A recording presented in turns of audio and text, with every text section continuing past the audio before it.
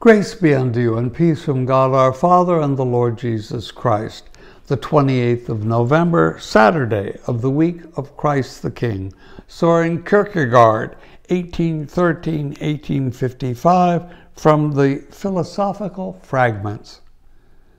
Behold where he stands, God. Where? There. Do you not see him?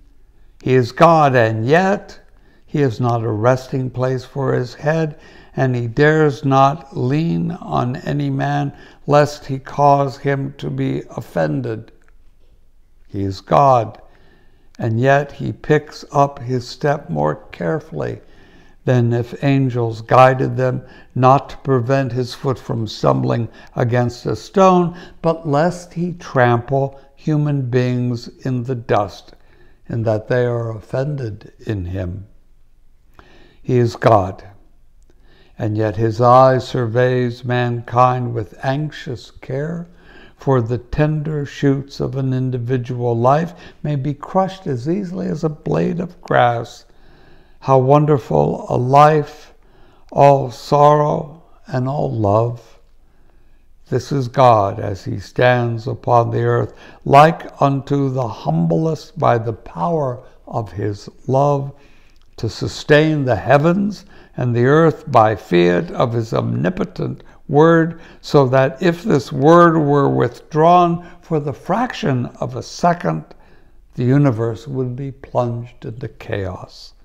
How light a task compared with bearing the burden that mankind may take offense when one has been constrained by love to become its Savior.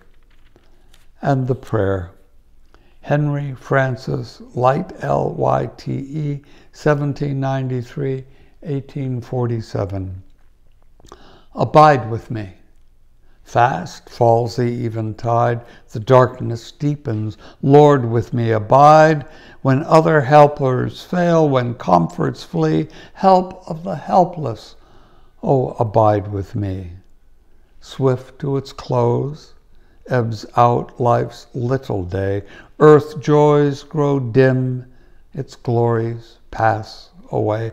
Change decay, and all around I see, O thou who changest not, abide with me. Not a brief glance, I beg a passing word, but as thou dweltst with thy disciples, Lord, familiar, condescending, patient, free, Come not to sojourn, but abide with me. Come not in terrors as the King of kings, but kind and good, with healing in thy wings, tears for all woes, a heart for every plea, O friend of sinners. Thus abide with me.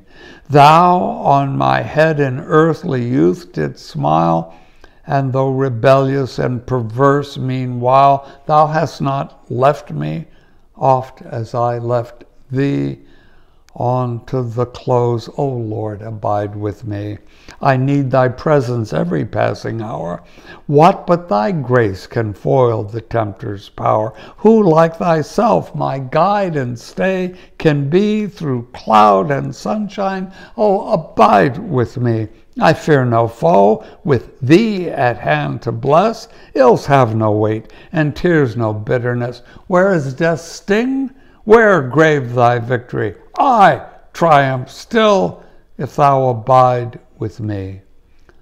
Hold thou thy cross before my closing eyes, shine through the gloom and point me to the skies. Heaven's morning breaks, earth's vain shadows flee. In life, in death, O Lord, abide in me. Amen.